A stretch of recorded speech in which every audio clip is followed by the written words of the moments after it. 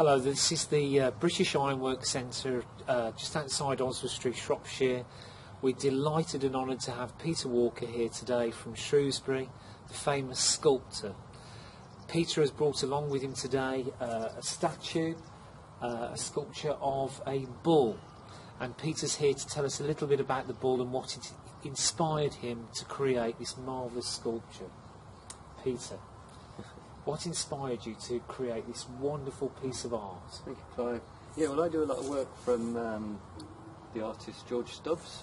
Oh, I look a lot of, of at a lot of uh, animal anatomy, and even though it's abstract and it's, it's square and it has a cubist feel to it, the purpose of this sculpture was to look at anatomy and see how that anatomy can be abstracted. Oh, I see. So it's uh, each of the forms that you see, each of the shapes, they actually relate to muscle groups within a bull. oh, And I do a lot of work around this with uh, with horses, with birds, etc. Yes, Um, yeah. And this one, as you see, with the different aspects when you walk around it, they actually uh, are to do with the power of those muscle groups or the fragility. So if you look at the face, for instance, you can see there's a lot of features, a lot of realistic features moved away. yes, yes. But it's actually designed to depict the strength of the creature. Oh, wonderful. And you certainly get that feeling from it. When did you first create this particular sculpture, Peter? Uh, these were designed in, uh, it was one of uh, about six pieces designed in 2010-11. Oh, yes. Um, and they went off to Germany, to Munich in Germany for an exhibition. Mm. Um, and since then they've travelled around, been to Weston Park yes, for an yes. exhibition and Oh, just come back good. from the National uh, Botanic Gardens in Leicester where they've been in an international sculpture exhibition. So. Oh, marvellous. And does the ball have a name, Peter? Uh, it's actually called Symphony for the Bull. Symphony. Yeah, and it's all about the power of the animal um, having uh, resonance like Yes. music. And Yeah. is very musical once you know the language of sculpture. So it's it's it's about those forms having resonance um, and and rhythm and how they play together. So. Oh, fantastic.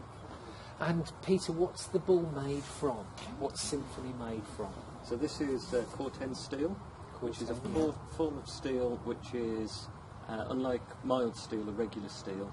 Even though it looks so it's rusting, it's Yes. designed to get the colour of rust or to corrode, but it, it will never actually rust all the way through. It's the same material used on um, ocean liners and tankers and things like that. So it, it permanently, and it's it's a modern sculpture material used for about 50 years. Oh, very good. That's uh, that's certainly very informative. Peter, what's what's inspired you to to? Uh, I mean, you've been exceptionally generous bringing it here to the British Ironworks Centre. What uh, you're based in Shrewsbury? I th- Are we the are we the most local sculpture park to you, or is there anybody else that uh, you've got near you?